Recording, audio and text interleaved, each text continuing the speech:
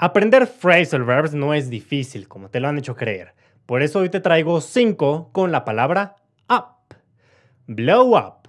¿Qué significa? Vamos a ver una oración en su uso, porque las nuevas metodologías recomiendan aprender inglés o cualquier idioma por uso y no por traducción. He drove over a landmine and the car blew up. Manejó sobre una mina terrestre y el coche ¡boom! explotó. ¿No sería más fácil entonces utilizar exploded en vez de blew up?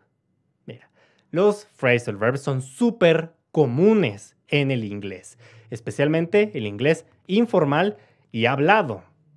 ¿Qué es un phrasal verb? Es un verbo más una partícula. Miguel, parece una preposición. Sí, bastante.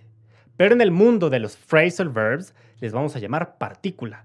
Y juntos, verbo y partícula, o a veces dos partículas, juntos, la mayoría de las veces, te van a dar un nuevo significado. He drove over a landmine and the car blew up. Muy bien. ¿Qué tal ahora? Break up. A lo mejor este ya te lo sabes. I started drinking heavily after my marriage broke up. Comencé a tomar demasiado, o sea, alcohol, después de que mi matrimonio terminara. Break up se utiliza precisamente para terminar una relación amorosa, un, este, un matrimonio, también relaciones de amistad, laborales y demás. Aunque pues, creo que es más común que lo vayas a escuchar en el sentido del amor. Bueno. I started drinking heavily after my marriage broke up. Bien, entonces, ¿qué tal ahora? Clean up.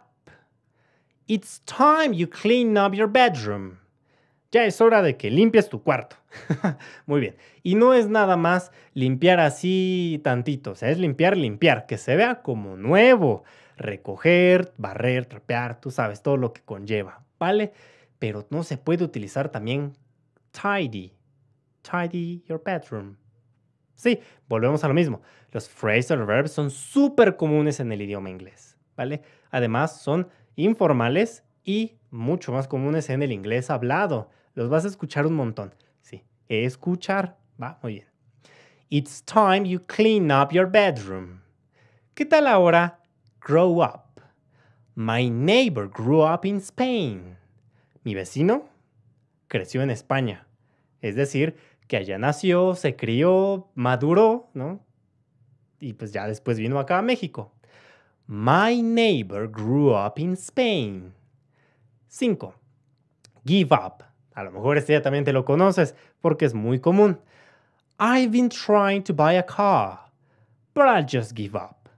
He estado intentando comprar un coche, pero ah, me voy a rendir. Eso, vas a dejar de hacer algo, ya no vas a intentarlo.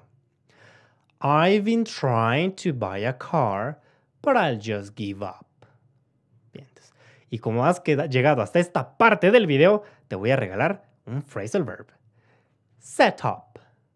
At the age of 50, my father set up a restaurant. A la edad de 50, mi padre puso un restaurante. Y puso no es nada más de tomar un objeto y colocarlo en otro lugar, sino se refiere de abrir un negocio, empezar un negocio, cosas así. En este caso, pues es un restaurante. At the age of 50, My father set up a restaurant. ¿Ya viste? ¿Cómo se aprenden los phrasal verbs? En contexto, en sus oraciones y entre más... Em, por ejemplo, si lo vemos en una serie o película, entre más, más tiempo veamos ese fragmento, pues muchísimo mejor. No nada más la oración tal cual, ¿vale? Como en este video, pero es que si no será muy largo. o si estás leyendo un libro, pues en todo ese contexto es mucho más fácil entenderlos. Pero bueno, vas a llegar a ese nivel y si ya lo estás, házmelo saber también en los comentarios. Si inglés quieres hablar, deberás practicar inglés a cucharadas.